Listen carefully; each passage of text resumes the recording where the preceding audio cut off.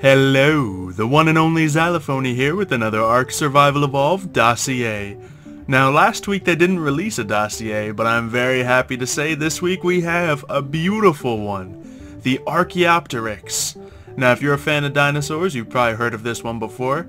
It is one of the earliest bird-like creatures, so it'll be an amazing addition to Ark. But fun fact, this guy isn't that good of a flyer and he's not quite big enough to carry a human so he's going to be interesting to see. Anyway, in the wild, approximately 1 meter long, the Archaeopteryx magnamilvum is a primarily tree-dwelling protobird. It avoids the ground as much as possible, preferring to stay in the safety of the trees, where few predators can reach it.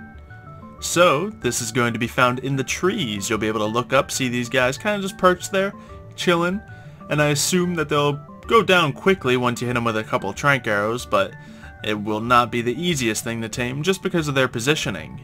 Now it also says down here, I've not seen an Archaeopteryx outright fly yet, so it's possible that they can't generate enough lift to do more than glide long distances between perches.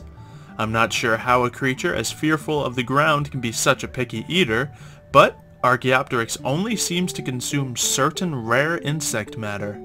The most likely explanation is that it tends to its nest in infested trees, stripping them bare of such resources. So it eats bugs, and it's very picky about the bugs it eats. Now, when it does come into the game, there might be a separate bug resource, or you might just be able to, uh, you know, tame it with any sort of insect meat. Maybe that'll be a different resource by the time this guy's added. They have a lot more dinosaurs to add before considering this guy most likely, but it is continuing with the trend of dinosaurs being picky eaters.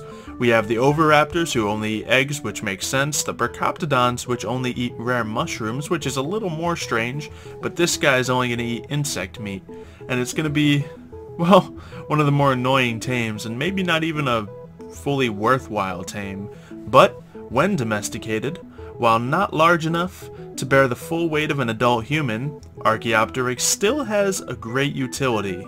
Despite the creature's inability to fly, its wings have sufficient strength to dramatically slow the rate of a person's descent, if that person holds Archaeopteryx while airborne.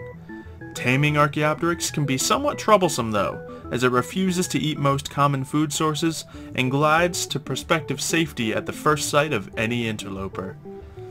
Ooh, so this guy is going to be a living parachute. If you have one of these guys, I assume you can have him follow you around, and if you need to jump off a tall cliff, there you go, you have your Archaeopteryx by your side. I don't know exactly why you would particularly use one when you could just carry a parachute around and bring a different tame, but it's still a cool feature that has not yet been implemented into the game. Definitely makes this guy very unique. Now, considering he's going to be so difficult to tame, even the dossier goes over those details, I really might not go for this guy right away. He is, you know, as a parachute, probably not the most useful thing. Maybe if he can ride on your shoulder, then he could be useful, but I don't think he's going to be able to. He's a little too big for that, but not big enough to be ridden. So, not the most useful of tames, but I've always had a special place in my heart for the Archaeopteryx. So, of course, you know, you guys know I'm going to actually get one, of course, just to have one. But, not the greatest of utilities. But, let me know what you guys think in the comments below. Sorry if I'm not giving this guy the full love he deserves. But, hey, he's still really cool looking. So leave a like if you've enjoyed this dossier, more will be coming soon, check out the other ARK series, and I will see you next time.